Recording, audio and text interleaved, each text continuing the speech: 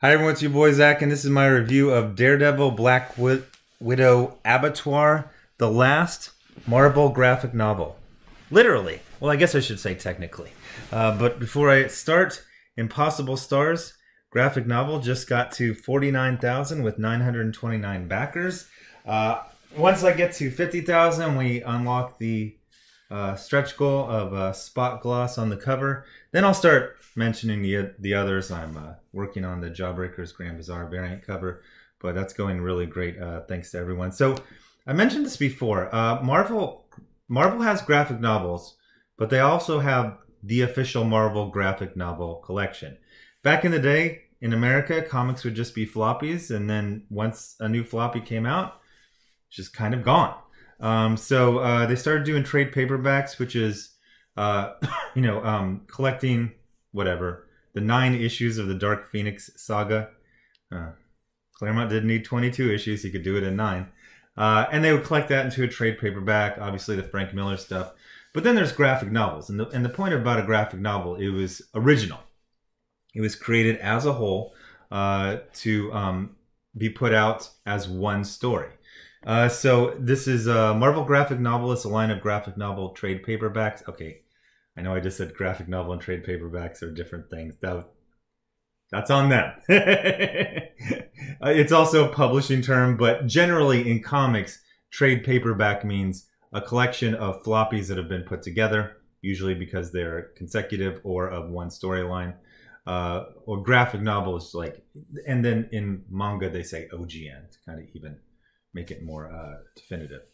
Um, the books were published in an oversized format, 8.5 by 11 inches, similar to French albums. In response, DC Comics established a competitor, nine, competitor line known as DC Graphic Novel. So it went from 82 to 93. And some of these are quite famous. The death of uh, Captain Marvel in 1982 from Jim Starlin. Uh, the New Mutants were actually introduced in the fourth one. Uh, X Men God Loves, Man Kills. I remember that being at like most uh, bookstores.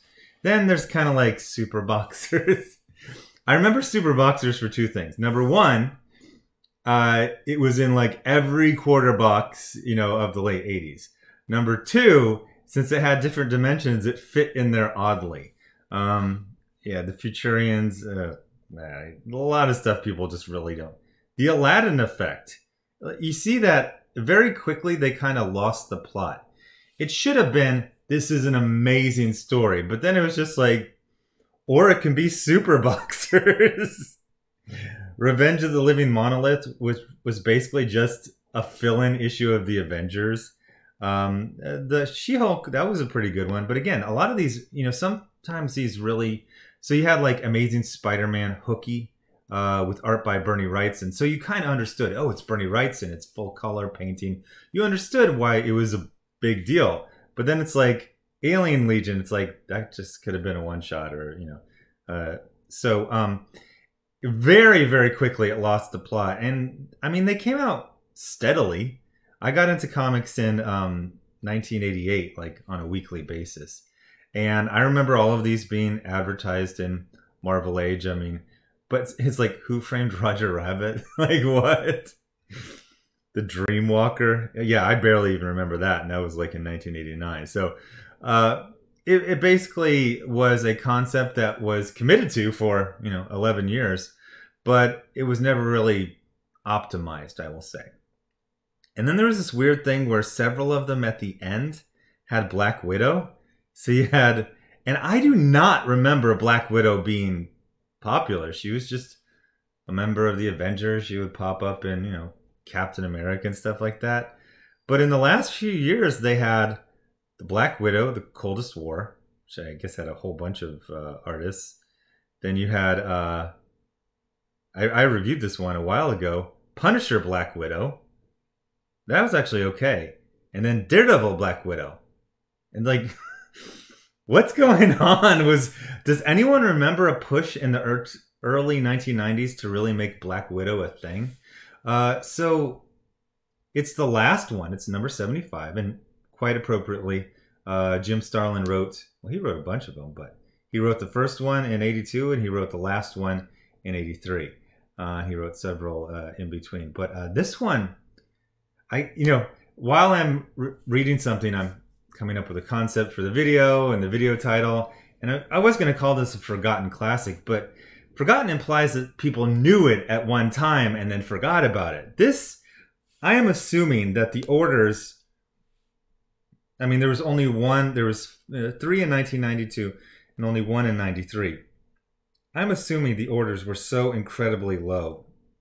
Uh, I don't even remember flipping through this. And usually I would flip through like everything, even if I could only afford like three comics a week. But I would flip through like every single Marvel comic. Um, so I'm guessing incredibly low sales. I don't remember seeing this in uh, I, even in, in used bookstores and half price books. I've never seen a physical copy of this. Uh, so it's freaking amazing. It is so, so good. Uh, it's also kind of shocking because it's really, really, really dark. It's about child abuse and murder. And um, uh, it's uh, so it's uh, Jim Starlin writing and Joe Chiodo, which usually I I try to give some context when I'm talking about someone. I'll say, "Oh, Joe Chiodo," and this thing just completely froze. I mean, why wouldn't it freeze? I mean, it's only 2020 I've been around for 20 years, but that's fine. Comixology, stay losing. So, um, Jim Starlin writing, Joe Chiodo, Ch- Joe Chiodo artist. So, like I said, usually I'll try to contextualize and I'll say he was known for. I don't know. I remember like the art of Wildstorm. He did like a couple pinups. I think he eventually ended up doing some stuff ish at Wildstorm. I, I don't know. Like I remember his name. I remember his art style. I can't really name anything he did besides a few pinups. Uh, but you know, start off with a file. One of the things that I really liked about this, it's it's before Shield was Starfleet. Now they did have a flying headquarters, but a lot of it was very, very like. You'll even see this like in um, Elektra Assassin.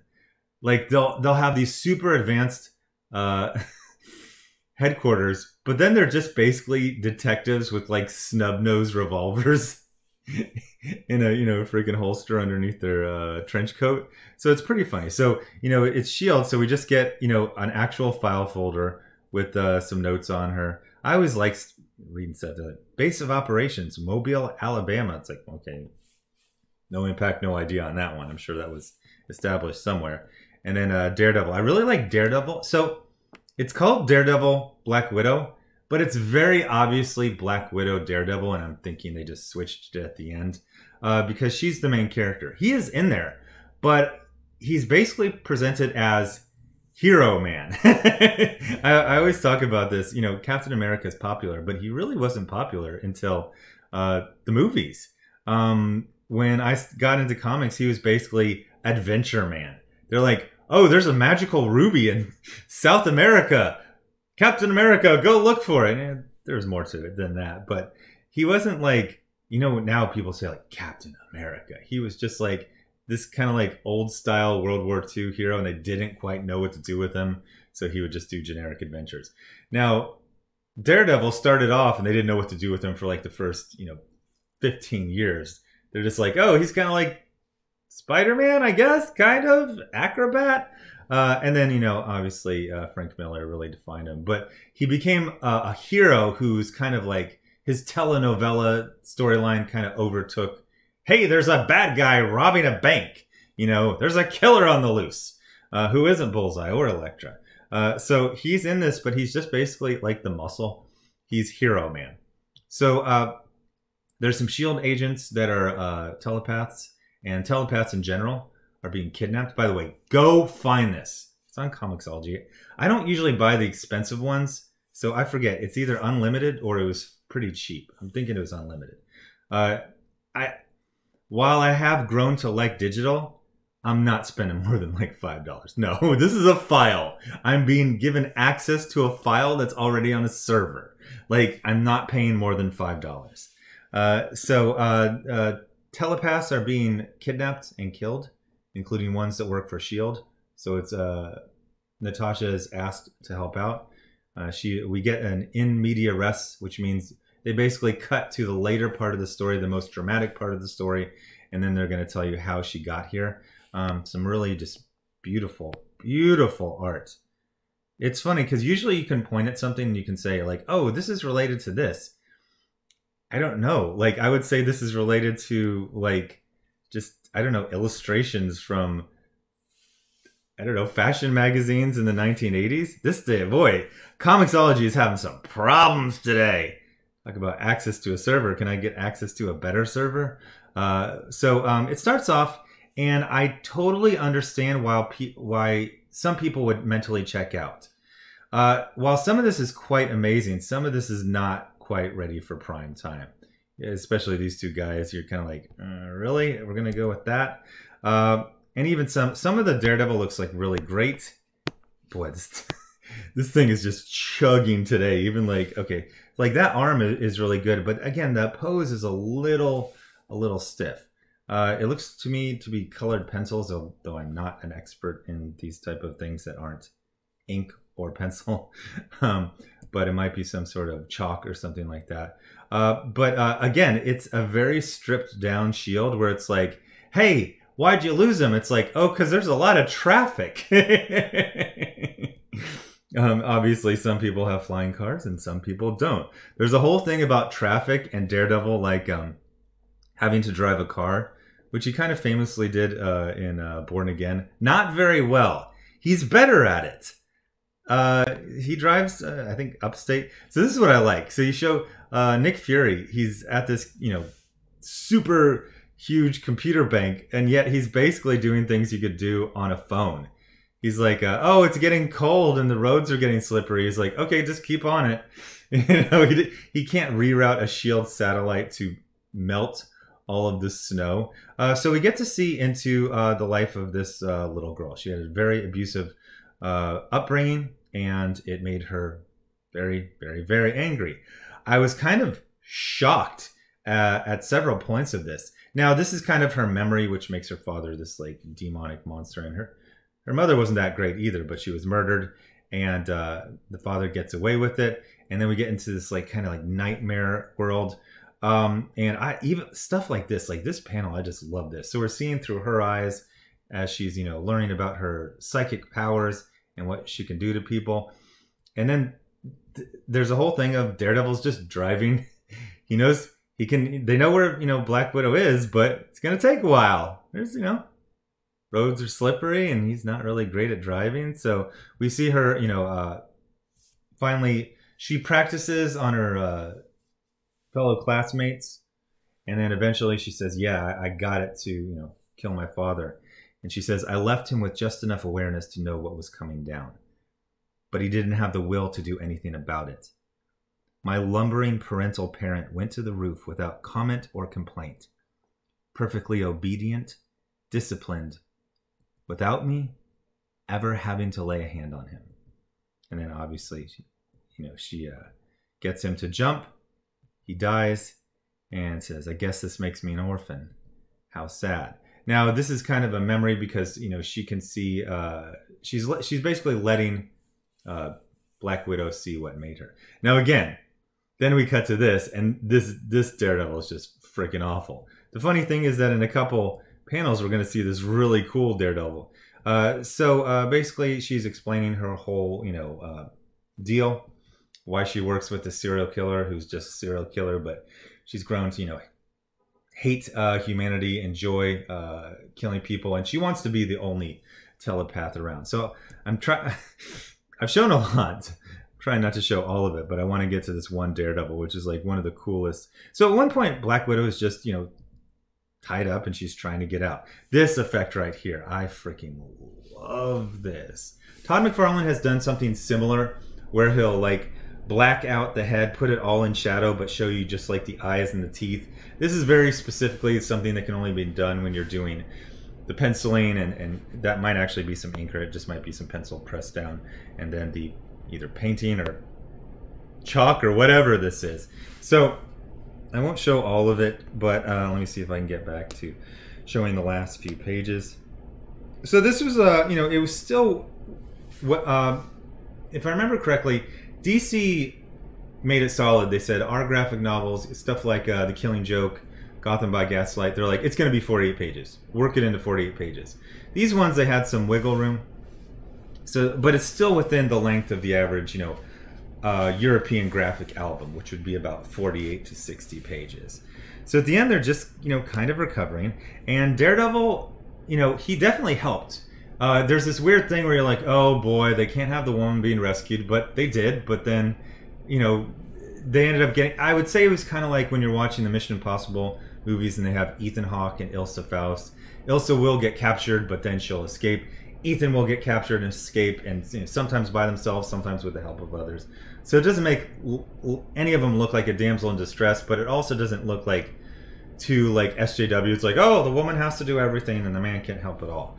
Uh, so then we cut to a flying helicarrier where all these you know 1950s detectives operate out of, and uh, I, I always love scenes like this where they're just kind of they're alive, you know, they've been through some stuff, and they're just kind of uh, you know dealing with it. And uh, Natasha says, "I'm lucky you got there in time for me."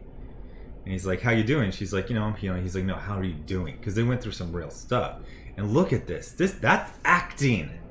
That is acting. That's not a drawing. I mean, it is. It's a drawing. It's a painting, but it's it's acting. That's beautiful.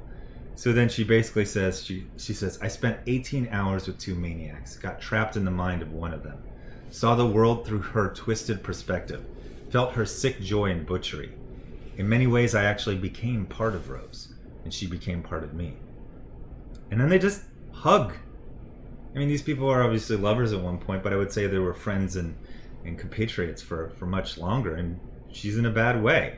A Daredevil took an axe to the chest, but it was very brief. It was his was mainly like they're like Shield. We we've created a uh, we sh- we've created an advanced computer technology called MapQuest. Drive to, drive to the FedEx on a uh, what was it? Was there one? There's one on like 41st Street near Bryant Park, and ask them to print you out a copy. It's basically he's driving. He's driving most of it, and then he gets in a very short fight, takes an axe to the chest, and then uh, he he helps out at the end. But uh, this is she's just she doesn't know where, where her head's at. She says, uh, "Time. It's that's what it's going to take. I'd like to be alone now, if you don't mind." She says, "Yeah, I'll get over it. I'm one tough broad who's seen a lot worse. I've faced monsters before. I'll bounce back. The only thing I wonder about, though."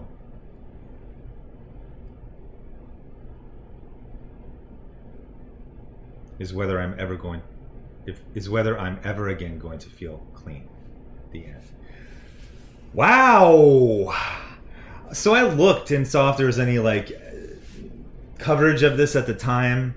No, it, just it looks like it was a very limited release. It just got got thrown out there at the end of a 11 year experiment and wow, go find this. I mean, the easiest way is obviously Comixology, but I think you'll really be rewarded if you find a physical uh, copy of this. But go check it out. The last graph Marvel graphic novel, technically. Um, uh, Daredevil, Black Widow, Abattoir. I almost said Avatar. So anyway, thanks for watching. Subscribe. Make sure you're still subscribed. Hit the bell for notifications. Thanks everyone giving to the GoFundMe, Patreon, and the Indiegogo. You're uh, funding original content and an original lawsuit. Links are in the description. And I will have uh, new comic reviews up all this week. Thanks. Bye.